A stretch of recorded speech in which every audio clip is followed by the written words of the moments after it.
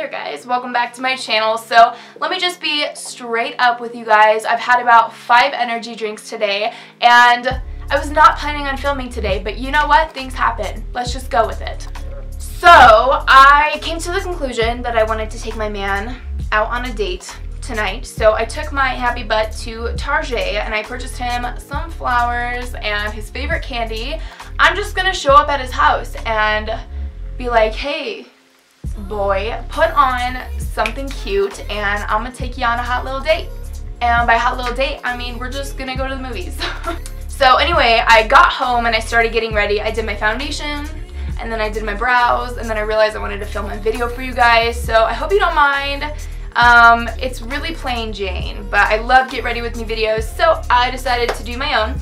And yeah, that's pretty much all I, oh no, hang on. I realized that I didn't film me like applying my nude lip. I did like a red lip in case you guys want to spice it up, you know what I'm saying?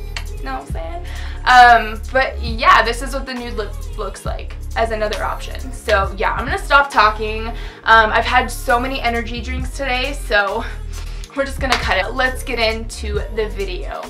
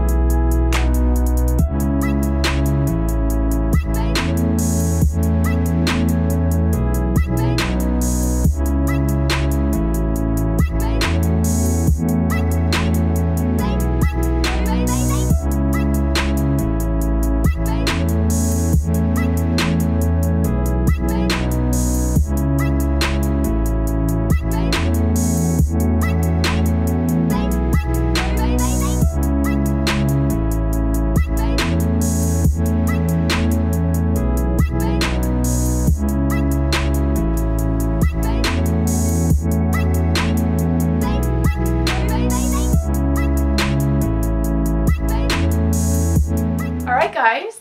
So this is the um, end of my video. I hope you guys liked it. Like I said, it was really spur of the moment, but nonetheless, I hope you guys like the look. It is pretty plain Jane, but I just, I wanted to film for you guys. So here it is. Uh, I hope wherever you guys are, you're having a good one. I'm gonna go take my man on a date now, and I will talk to you guys in my next video. Bye. I'm so, I'm so awkward. All right on my cell phone. Late night when you need